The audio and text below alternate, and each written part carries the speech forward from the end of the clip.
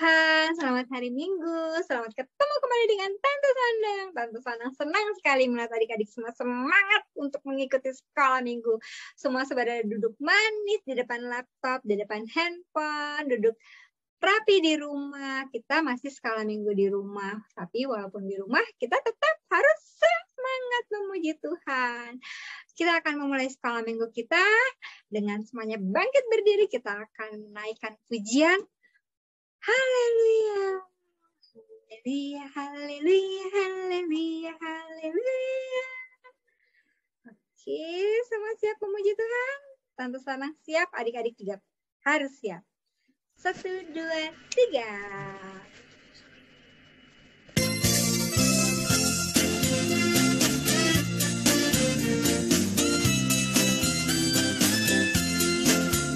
Haleluya, haleluya,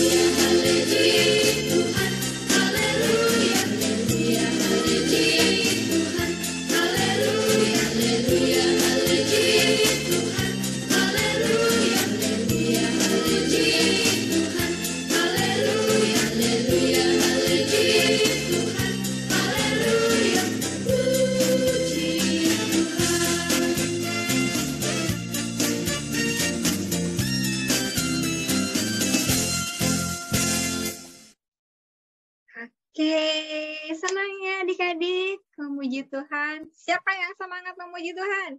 Siapa yang tadi memuji Tuhannya bangkit berdiri? Sambil berdiri duduk, ada yang memuji Tuhan, ada yang melambaikan haleluya. Oke, sekarang duduk yang manis lagi, Tante Salama absen. Nanti kalau Tante Sana panggil namanya, bangkit berdiri ya adik-adik ya. Oke, kita mau absen. Ada siapa di situ? Ada Vanka. Hai Vanka. Ada Damar. Halo Damar. Halo Aliel. Halo Anne. Selamat hari Minggu Julia. Jaden. Devin. Afi. Mika. Halo Nak. Ale. Edna. Argia. Gemma. Aquila. Kiana. Olive. Tama. Giandra. Raka. Hera. Joella, Raditya, Chandini, Eben, Tati, Jacob. Wah, semuanya sudah Tan Sanang absen, ada yang belum di absen? Nanti bilang ya sama Tan Sanang, Tan Sanang aku belum di absen gitu ya. Oke, adik-adik hari ini uh, Tan Sanang mau mengingatkan pada adik-adik kita harus bisa memberikan persembahan. Waktunya untuk memberikan persembahan. Kalau Tante Senang lihat di videonya Aquila, Aquila juga memasukkan persembahannya ke dalam amplop. Nih dia, amplopnya seperti ini. Ingat ya, Tante bilang apa? Kalau adik-adik kasih uang jajan, pada saat jajan jangan dihabiskan semua. Harus disisakan untuk dimasukkan ke dalam amplop dan pada hari Minggu, titip sama mama atau papa yang pergi ke gereja. Mama, papa, titip ya, ini persembahanku untuk dimasukkan ke dalam kotak persembahan yang ada di gereja. Karena aku walaupun masih kecil, aku mau belajar untuk memberi yang terbaik buat Tuhan. Oke adik-adik, bisa? Bisa dong. Oke. Pelajaran minggu, pelajaran kita pada hari minggu ini adalah mengenai Benyamin. Nanti Tante Wiwin akan bantu kita belajar tentang Benyamin. Benyamin ini adalah anak dari Bapak Yakub. Beberapa minggu yang lalu, bulan lalu, Tante pernah cerita mengenai Bapak Yakub. Adik-adik ingatnya. Nah, Bapak Yakub memiliki 12 anak. Nah, ada Yusuf. Yusuf punya adik namanya Benyamin. Yusuf sangat sayang sama Benyamin. Senang mau adik-adik di rumah juga harus tahu nih nama papahnya siapa, nama mamahnya siapa. Kalau ditanya, misalnya Jema, nama papa siapa? Nanti Jema bilang, Papa Aji, nama mamahnya Mama Sisi, nama kakaknya kakak Jet. Terus nama adiknya Jama nggak punya adik. Oke ya, adik-adik asuhan juga harus bisa kalau pada saat ditanya siapa mamahnya, siapa nama papahnya, siapa nama kakeknya. Semuanya ya, Damar juga. Oh iya, Olive juga. Semuanya harus bisa tahu nama keluarga kita. Dan yang namanya kakak adik harus saling mengasihi. Seperti Yusuf juga dia mengasihi adiknya Benyamin. Siap mendengarkan cerita kita pada pagi hari ini? Siap. Oke. Sebelum kita mendengarkan cerita kita, dan sana mengajak adik-adik menyanyi satu lagu. Yesus kasih padaku karena kita harus saling mengasihi dan itu terdapat di dalam Alkitab. Yuk kita nyanyi sama-sama. Jesus love me. Satu, dua, tiga.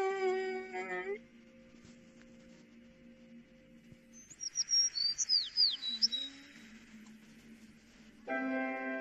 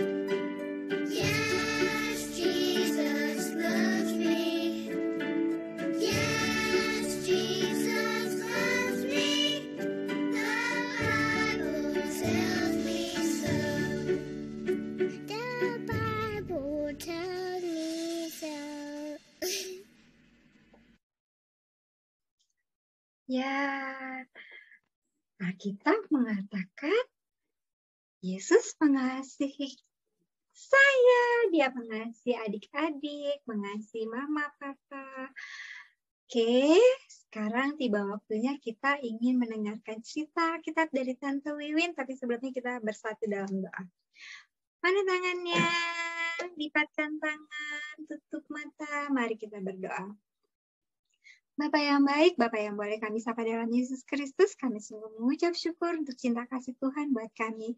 Terima kasih karena Tuhan boleh memberikan kesehatan buat kami, Tuhan boleh menolong kami pada saat kami mengikuti sekolah minggu pada pagi hari ini.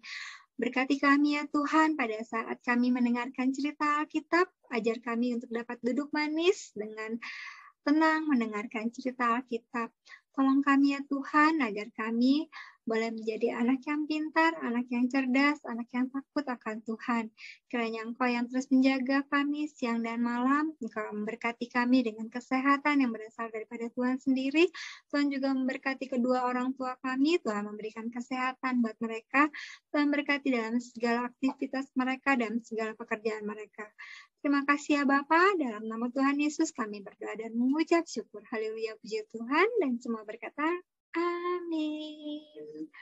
Oke, duduk yang manis, selipat tangan, kita siap mendengarkan cerita kitab dari Tante Wiwin. Tante Wiwin.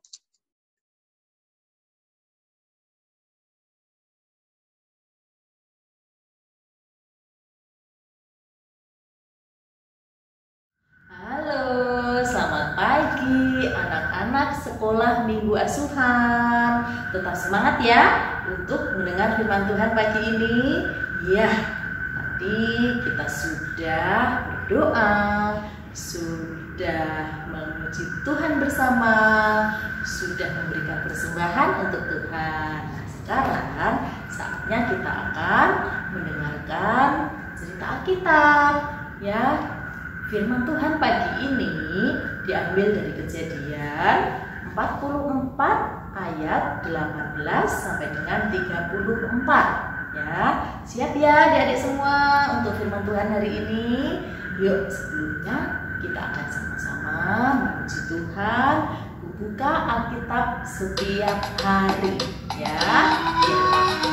Yuk, sama-sama semuanya kita akan memuji Tuhan dulu.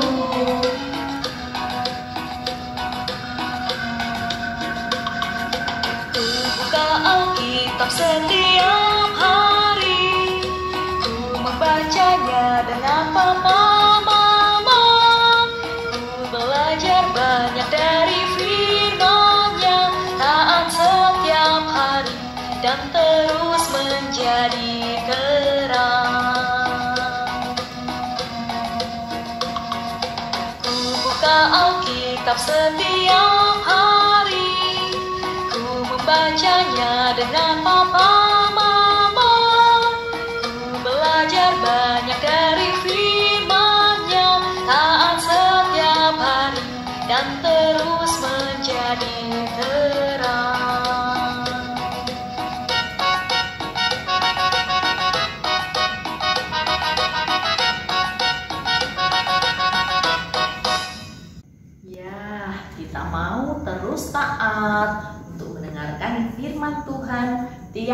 tiap-tiap hari, ya. Ya, nah hari ini kita akan bersama-sama belajar dari Alkitab, belajar dari firman Tuhan.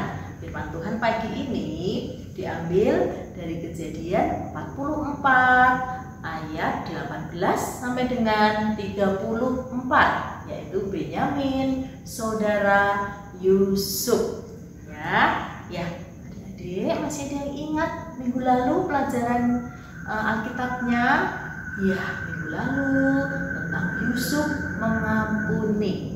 Yusuf mengampuni kakak-kakaknya ya. Sekarang kita akan belajar bagaimana Yusuf sangat menyayangi adiknya sangat mengasihi adiknya.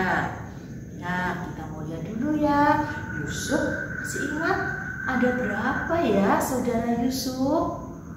Iya, saudara Yusuf ada banyak. Ya, ya.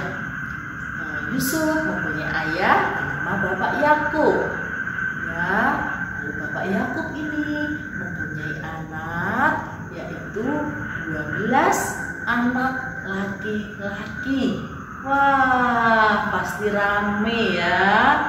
Ya, Bapak Yakub mempunyai 12 anak laki-laki. Yusuf adalah anak ke-11. Yusuf mempunyai adik yaitu Benyamin ya, mempunyai satu adik laki-laki bernama Benyamin. Yusuf mempunyai 10 kakak laki-laki. Nah, Yusuf saya sangat mengasihi Benyamin adiknya. Benyamin adalah anak yang paling kecil ya, anak bungsu, anak ke-12 dari Bapak Yakub. Ia mempunyai 11 orang kakak dan Yusuf adalah kakak nomor 11 yang paling dekat dengan Benyamin. Benyamin ya anak yang paling kecil sehingga ia sering kali tinggal di rumah bersama ayahnya Yakub. Benyamin sering menolong ayahnya untuk mengerjakan pekerjaan-pekerjaan di rumah. Sementara kakaknya Yusuf berada di Mesir ya. Dan kakak-kakaknya yang lain yang 10 kakaknya bekerja di ladang.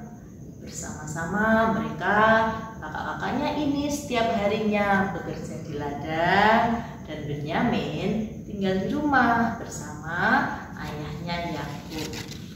Nah, pada suatu hari Kanaan dilanda kemarau yang panjang.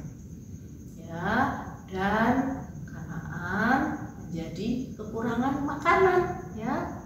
Nah, Bapak Yakub meminta supaya anak-anaknya semua pergi ke Mesir untuk membeli bahan makanan. Karena di Mesir bahan makannya bahan makanannya sangat melimpah. Banyak tersedia bahan makanan di Mesir. Nah, Benyamin diajak juga untuk bersama-sama dengan kakaknya pergi ke Mesir.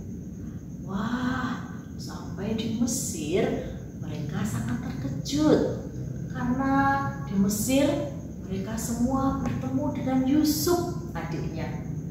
Ya, nah mereka sangat bersuka cita. Mereka bertemu dengan Yusuf yang selama ini yang sudah lama tidak bertemu. Nah, Yusuf juga terkejut. Yusuf memeluk kakak-kakaknya satu persatu. Ya, dan saat Yusuf memeluk Benyamin adiknya, Yusuf menangis karena ia sangat kangen, sangat menyayangi adiknya yang mal- yang masih kecil. Lalu mereka semua bersuka cita. Mereka semua dijamu oleh Yusuf untuk makan dan minum bersama-sama.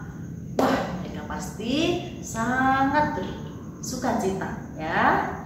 Nah, pada saat kakak-kakaknya mau pulang ya, kakak-kakaknya sudah mendapatkan bahan makanan.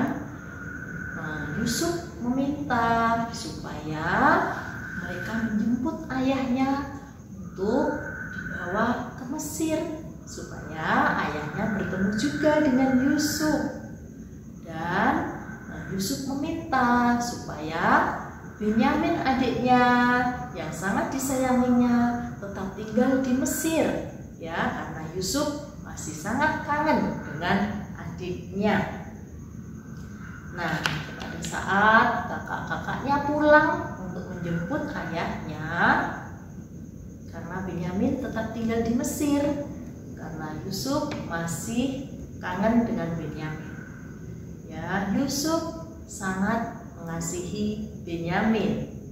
Yusuf sayang dengan adiknya dan Benyamin juga sayang dengan kakaknya Yusuf. Dan mereka tinggal bersama-sama di Mesir ya mereka bersama-sama tinggal di Mesir Yusuf dan Benyamin. Nah, apa ya yang bisa kita contoh dari cerita Benyamin dan Yusuf sebagai kakak dan adik? Ya, kita saling mengasihi dan menyayangi kakak dan adik. Yuk, kita juga mau mengenal siapa saja anggota keluarga kita.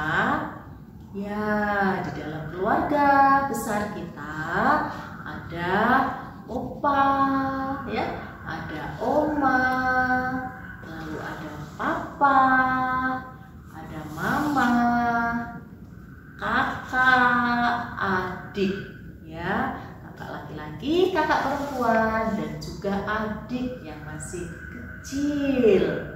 Ya, seluruh keluarga saling mengasihi, ya, saling menyayangi, ya. Tuhan sangat mengasihi keluarga, ya, mengasihi semua anggota keluarga. Tuhan mengasihi oma, mengasihi opa, Tuhan mengasihi papa dan mama, Tuhan mengasihi kakak, mengasihi adik. Ya, anggota keluarga juga mau saling mengasihi ya adik-adik. Kakek mengasihi nenek ya, mengasihi papa dan mama. Kemudian juga mama dan mama, mama dan papa mengasihi anak-anak. Dan kakak juga mengasihi adik. Kita semua mau saling mengasihi. Coba lihat ya contohnya kakak mengasihi adik seperti apa ya? Ya, kakak dan adik bisa main bersama-sama. Ya, kakak dan adik tidak boleh rebut-rebut. Kakaknya mengajari adiknya untuk bermain, mengajak adiknya bermain sehingga adiknya bisa bermain dengan baik. Ya, siapa yang sayang dengan adik? Ya, hebat. Kakak adik, mengajak bermain bersama. Lalu, wah hebat. Kakak menyuapi adik. Siapa yang sudah bisa menyuapin adik? Yang sudah punya adik? Iya. Kakak bisa membantu mama untuk menyuapi adik, untuk menjaga adik. Wah, hebat. Kakak sangat menyayangi adiknya. Kakak sangat sayang, sangat mengasihi adiknya. Pasti adiknya juga sayang dengan kakaknya karena kakaknya mau menjaganya, ya. Ya. Ya, kakak juga bisa menemani adik ya waktu mama sedang ke masak atau mama sedang mengambilkan minuman atau makanan ya supaya adik tetap eh, terjaga ya tidak ke mana-mana yang masih kecil kakak bisa membantu mama untuk menemani adik menemani adik bermain menjaga adik ya hebat. Kakaknya menjadi kakak yang baik yang mau menolong adik yang mau menyayangi adik untuk eh, supaya mama juga bisa beraktivitas yang lain. Wah hebat ya semua kakak-kakak di sini. Iya kita mau belajar seperti Yusuf. Sangat menyayangi adiknya ya. Sangat mengasihi adiknya. Kalau bermain harus baik. Tidak usah rebut-rebut ya. Bisa bergantian bisa saling menjaga mainannya supaya mainannya juga tidak rusak. Nah itulah cerita kita pagi ini adik-adik. Kita mau menyayangi adik ya. Kita mau menolong adik menjaga adik. menunjukkan ayat hafalan ya. Ayat hafalannya diambil dari Yohanes 13 ayat 34b kamu harus saling mengasihi.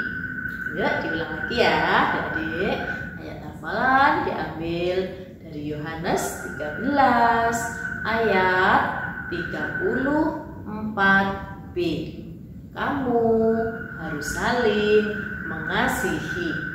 Ya, kamu harus saling mengasihi. Yohanes 13 ayat 34b. Ya, itulah cerita Alkitab pagi ini. Yuk, sekarang kita akan menutup sekolah minggu kita hari ini. Sebelumnya, sebelum berdoa, kita menyanyikan lagu Rukun Cinta Satu Sama Lain. Ya, adik-adik, yuk kita boleh berdiri bernyanyi bersama-sama. Kita mau rukun dengan seluruh anggota keluarga kita. Rukun dengan kakak dan adik.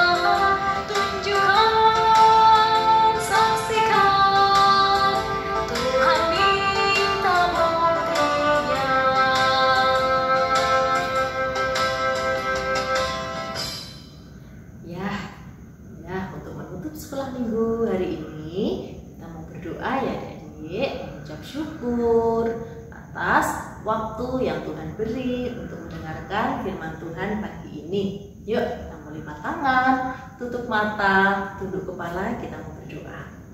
Terima kasih Tuhan, kami mengucap syukur untuk firman Tuhan yang sudah kami dengar pagi ini. Kami mau Tuhan menjadi kakak, menjadi adik yang saling mengasihi, saling menyayangi. Kami mau selalu taat, selalu mendengar eh, apa yang menjadi kehendak Tuhan. Terima kasih Bapak atas waktu yang Tuhan beri. Tuhan berkati kami tiap-tiap hari sepanjang minggu depan ini. Kami semua boleh beraktivitas dalam kasih dan dekat Tuhan. Minggu depan kami boleh bersama-sama mengikuti sekolah minggu kembali. Terima kasih Bapak dan nama Tuhan Yesus. Kami sudah berdoa dan bersyukur. Amin. Ya, sekolah minggu hari ini sudah selesai. Terima kasih anak-anak asuhan semua. Sampai jumpa minggu depan. Tuhan Yesus memberkati. Selamat pagi semuanya.